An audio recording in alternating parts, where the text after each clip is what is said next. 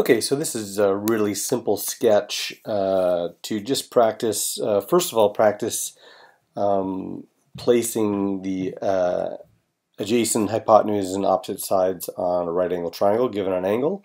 And so it's pretty simple. You're given a right angle triangle, you're given a, an angle as a reference point, and then you have to drag the uh, appropriate side names to where they are and then when you hit show your answer it should be able to check if you're right. And then if you click try again with a new triangle it randomly generates uh, another triangle and another angle and you have to place those. So that's relatively simple.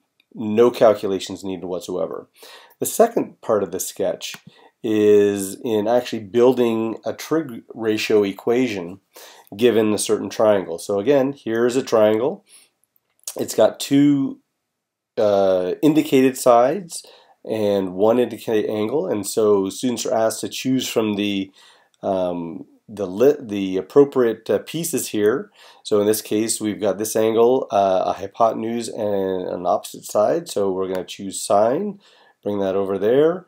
Uh, it drag the angle into there as well uh, so then we put our opposite and our hypotenuse in there and I've made the, the names of the sides so that they don't sort of relate to the side names. Um, and then they hit show answer to check if they're, they're correct and try again with a new triangle. Uh, and it randomly selects the angle and uh, shuffles the letters to make a new triangle that they have to build the trig ratio equation from. And so every time they do that, they can show their answer and they can go back and forth from each of the pages.